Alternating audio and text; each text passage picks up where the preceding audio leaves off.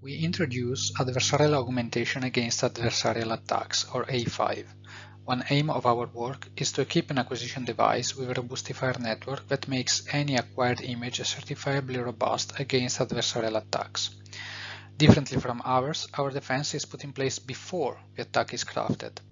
We also use bound propagation to certify the robustness of the image.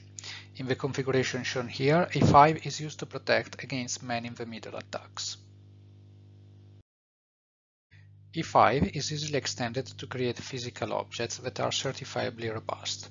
This could be used for the design of tools for robotics, road signs, or fonts for optical character recognition. A5 is a full framework for preemptive certified protection. Our experiments demonstrate that it overcomes our state-of-the-art defense methods. Let's do a step back and consider our existing defense approaches. This is the case of image purification, but please consider that randomization is also pretty similar. Given an image X belonging to the class Y, an attack delta XA moves X into a new position where the classification is incorrect. Purification reprojects the attacked image back to the manifold of natural images and hopefully it restores the correct classification. Bound computation allows the development of robust classifiers that can be certified against adversarial attacks up to a given attack magnitude. For a given input x and an attack of magnitude epsilon a, the computed bounds allow estimating the worst case classification. The computation of the bounds can be used during training when a classifier is trained on the worst case.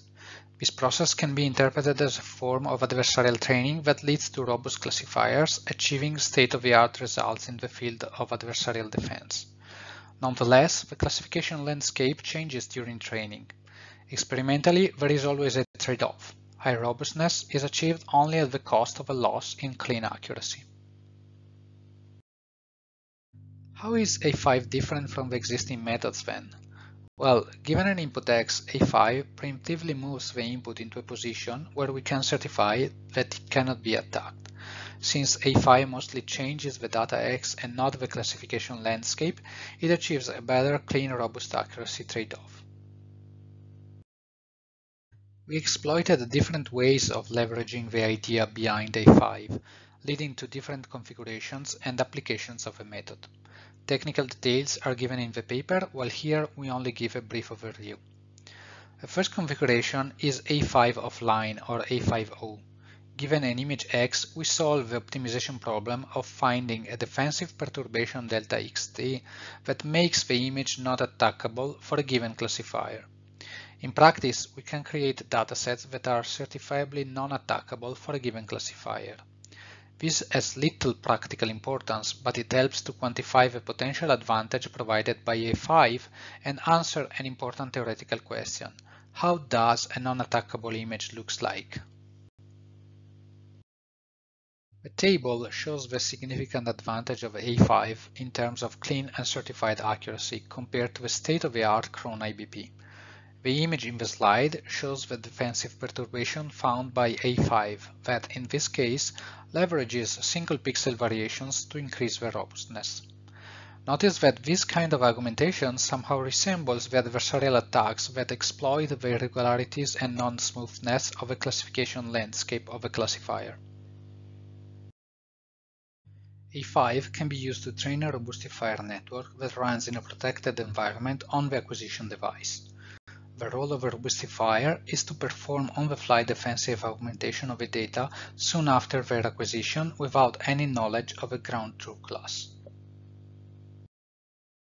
The robustifier network of A5R finds a defensive augmentation that does not exploit pixel-level variations like in the case of A5O.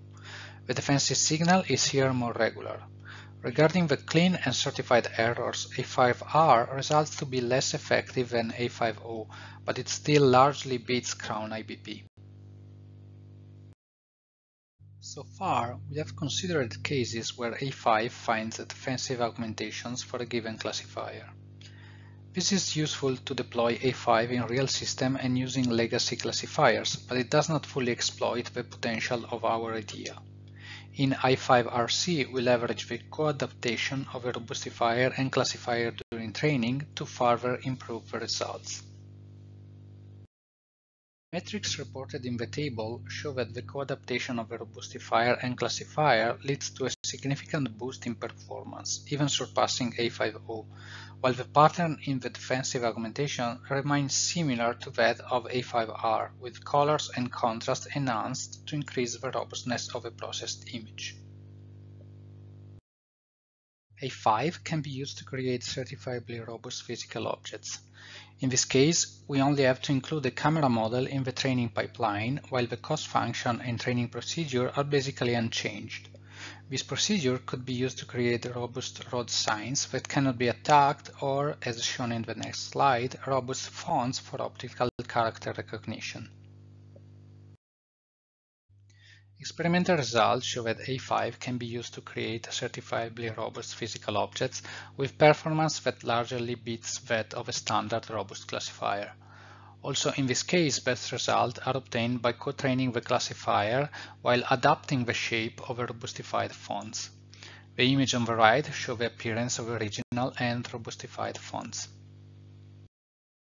In conclusion, we have demonstrated that A5 allows preemptive certifiable robustification offline and on the fly for acquired data and offline for physical objects. We have also shown the benefit of co-training with the classifier. More technical details and results are described in our paper. We have also observed at least one limitation of a proposed method. Scaling to large architecture remains problematic, as for other methods based on bound computation. To allow further investigation of this aspect and more, we release our code in the provided link. Thanks.